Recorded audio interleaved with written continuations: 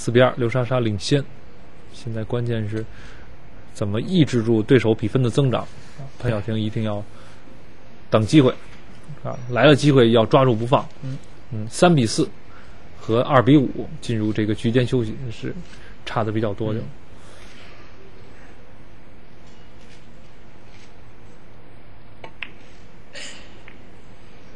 嗯看一看，哎，看看有没有用六号球来挡到一号球的线路。应该大部分都挡住了。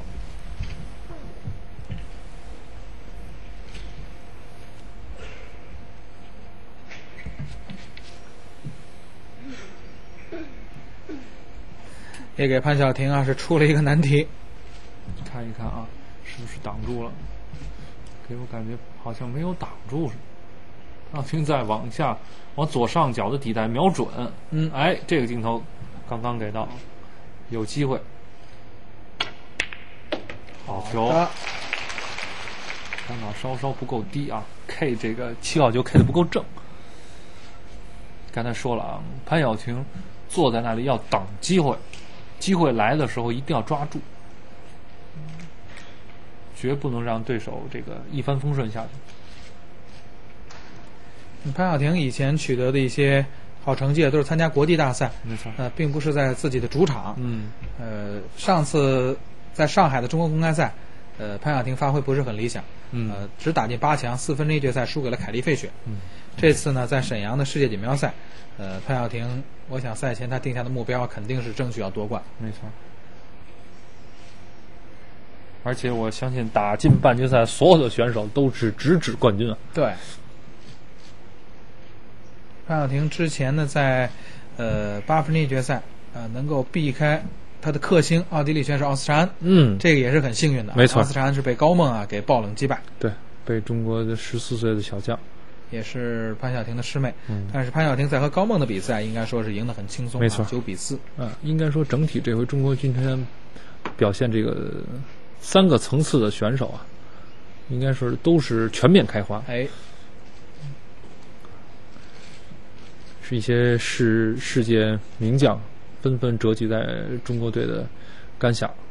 尤其是从这个三十二强的比赛开始，对丹麦淘汰赛连续是爆出冷门，而且冷门的制造者都是中国选手。没错，像金佳映、艾丽森·飞雪，这些都是耳熟能详飞雪、维古精美这些选手都是在前两轮的淘汰赛就出局。嗯，包括你刚才提到奥斯查恩，哎，对。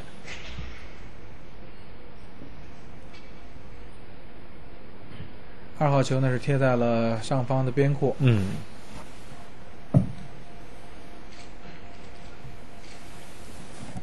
这球刘莎莎在考虑防守啊，立上半场的比赛对出杆没有时间限制，可以更多的调整一下。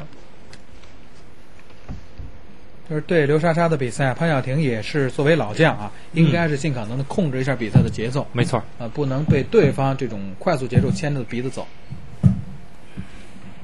所以尽可能在没有机会的情况下，潘晓婷呢是要给对方呃设置一些障碍，嗯，来挫一挫对方的锐气。没错儿，减缓一下对方前进的步伐。哎，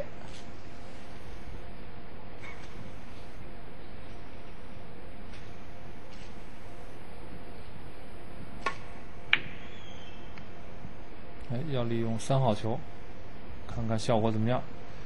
那还是可以的。嗯，不错，两颗球控制的非常好啊。二号球要刻意躲开靠近左侧库边的四号球。嗯，这三颗球形成一条直线。嗯，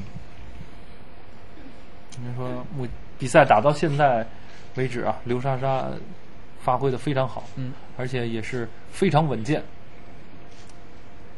这个左边一颗星啊，没办法救，跳杆，只能是跳球了。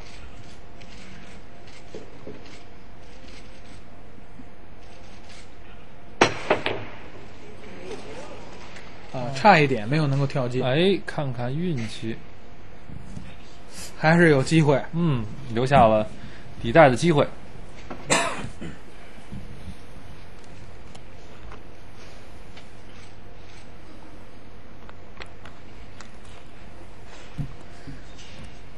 在美国的比赛当中，潘晓婷在跳球这个方面运用的还是不错的，经常是能够解决难题啊，对将球跳进，对，应该说潘晓婷在技术层面，包括心里面整体还是比较均衡，对，很全面。嗯，没有呃特别明显的弱项。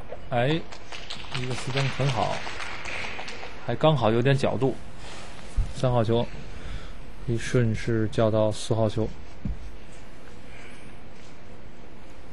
啊，对，现在他考虑这个角度啊，啊，他球杆点的位置就是他希望母球停的那个位置，啊，停的那个位置后只有那个角度，把四号球打进左上角底袋，母球吃边库滑过来叫六号球。嗯，因为现在六号球，如果他叫的那个位置应该是六号球的，在九号球边上，那就是六号球。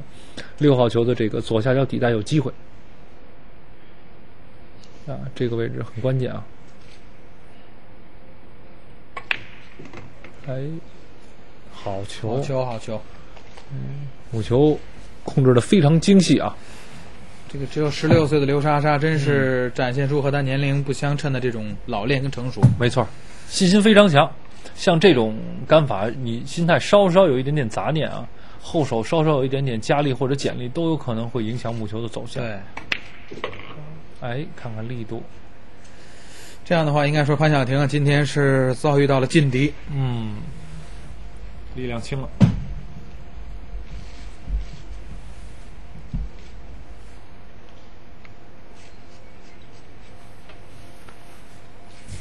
因为昨天潘晓婷的第二场四分之一决赛啊，打的也是比较晚，九点半才开始就面对韩国的车友兰，打完了已经是十一点多了。嗯，这不知道这个休息的怎么样啊？哎，哎，打的稍稍厚了一点。这样潘晓婷终于等来了机会。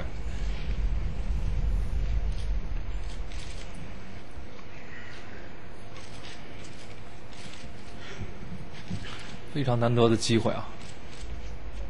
抓住啊，三比四啊，一盘的落后，进入局间休息。应该说双方还在同一起跑线，对对对因为局间休息完了以后，应该冲球局在握嘛。是，场边也是坐了半天了，对，终于是等到了机会。所以，呃，桌球这项运动也是一个比耐心的运动。嗯。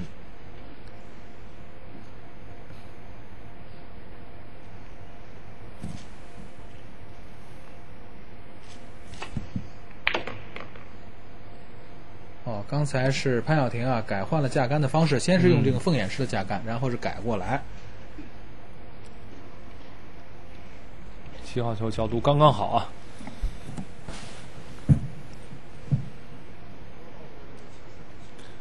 调整，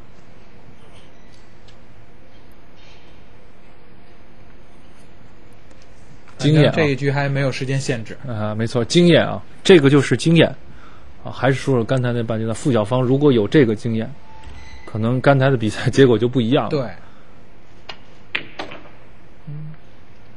因为你比赛当中难免会遇到一些这个意料之外的事情啊，关键你怎么来处理各种情况。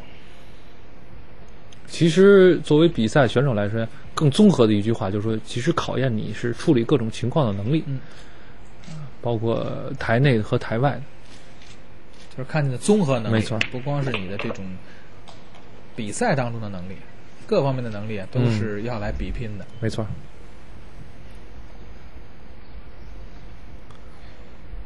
需要一杆准度。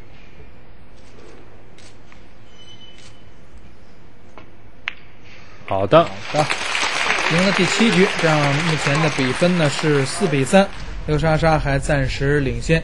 上半场的棋盘比赛结束啊，稍事休息，呃，先进广告，我们等一会儿呢继续来给您直播啊双方后面的比赛。